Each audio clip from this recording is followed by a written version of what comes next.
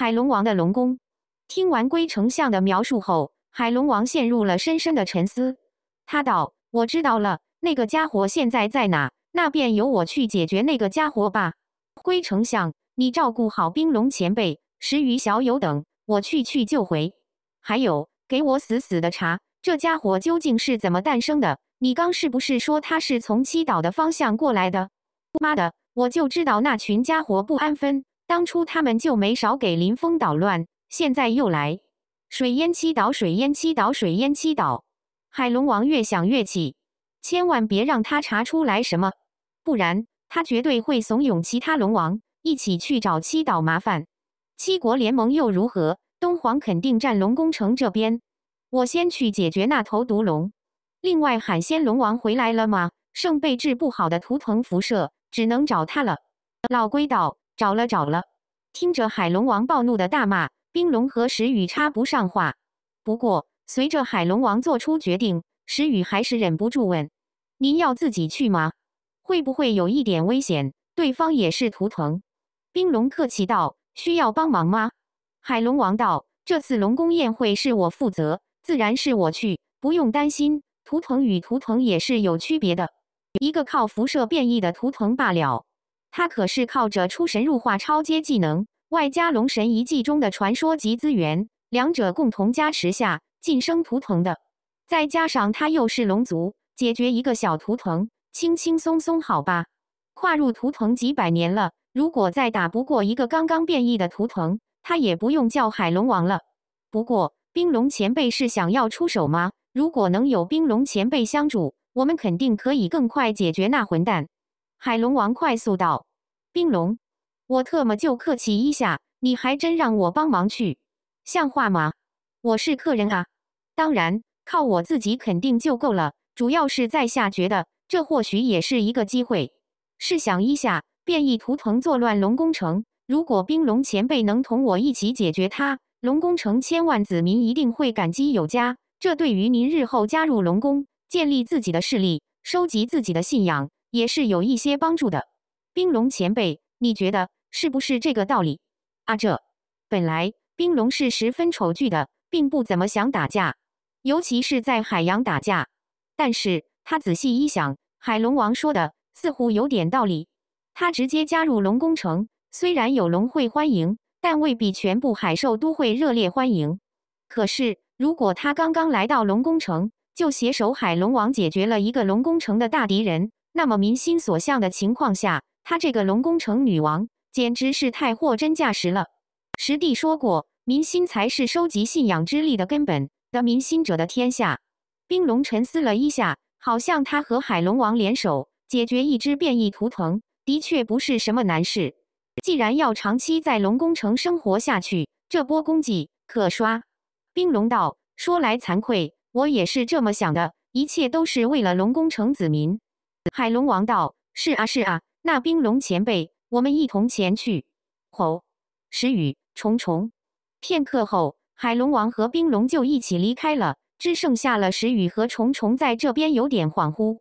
老实说，虽然很想看图腾打架，但是这个热闹。他时雨就不凑了，这又是毒的，又是辐射，怎么想也不是他一个小小大师能插手的。让霸海传奇去还差不多。时雨阁下，此时龟丞相漂浮在天空中，一脸哀愁，不知道该怎么接待时雨。时雨，这些果子我们能吃吗？奶奶的，海龙王拿出这些真果一果，没有低于五级的，他甚至还看见了七级真果，不吃白不吃啊！当然可以了。不过，能不能请石宇阁下单独在这里待一会儿？老龟，我想去看看中毒者的情况。现在应该有一批中毒者运送到龙宫城秘境了。现在不少海域都被辐射污染，不少海兽都被毒素侵蚀。如果无法解决，海龙王大人估计会很头痛。石宇收回来了虫虫，微微沉默下后道：“那不如我跟您一起去吧。”啊！龟丞相一愣。我也有一只宠兽，掌握治愈能力，或许可以跟您一起去看一看。算了，果子什么时候都能吃。他现在想看看让龙宫城上上下下都束手无策的剧毒是什么玩意。参宝宝能不能用变异体吸过来制造个毒果，以后给敌对霸主吃下，无敌好吧？龟丞相立刻泪奔道：“虽然很不信任您的能力，但是太感谢您的好意了。”石宇，你礼貌吗？你这只乌龟会不会说话？东皇古国与七岛之国交界海域，海域之中，一只高达百米、形似双足站立的巨大黑色恐龙的怪兽正一步一步行走着。它每走一步，身体所接触的海域都会瞬间被一股黑色辐射所污染。被污染的水流涌动下，无数海兽出现中毒迹象，近乎晕死过去。吼！怪兽毫无目的的行走着，时不时口中凝聚散发强烈热量的射线，射线扫去。大海几乎瞬间蒸发。吼！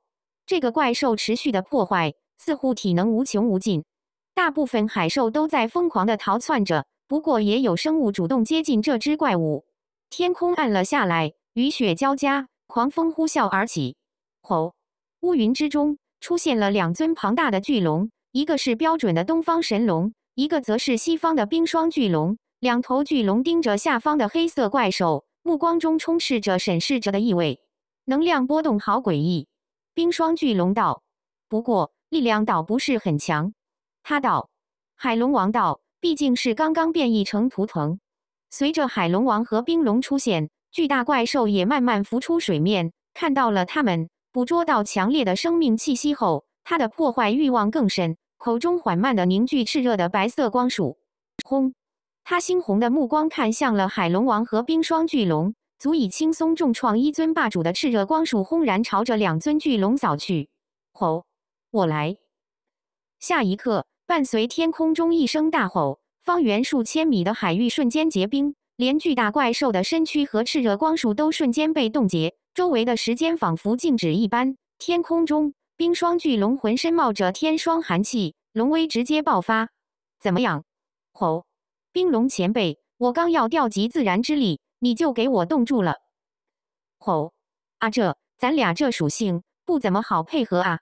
双引号，两头巨龙猛逼的交流间，巨大怪兽身上散发出红色的热浪，身上的冰霜开始缓慢的融化。与此同时，冻结炽热光束的冰霜也逐渐开始融化。轰然间，怪兽身上的冰霜全部碎裂，伴随一声巨吼。炽热的光束依然迅猛地朝着海龙王和冰霜巨龙扫来。吼！交给我吧！